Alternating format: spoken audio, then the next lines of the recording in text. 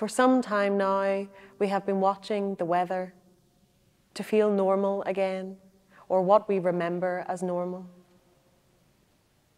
The summer passed in a bright hum, sunlight flooding the rooms until we could imagine what it was to be a tree, sun soaked and rooted. We welcomed the cooling winds floating in like rudderless boats. Then came the rain and its hollow sound, and the realization that we had started to take on water. One day I spilled something on an atlas of the world, looked at the tiny shoreline and imagined tides filling the harbours, lifting the boats, covering the sand. When the cold comes, it makes everyone focus.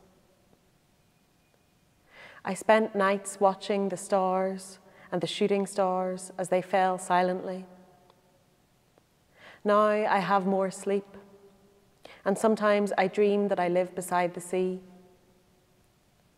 Grey mist accompanies me down to the shore, where I meet my future self, and we look towards the strangeness on the horizon, small flashes of light in the distance.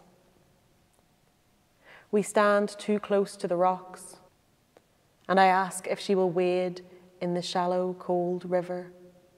Let the sun dry her hair.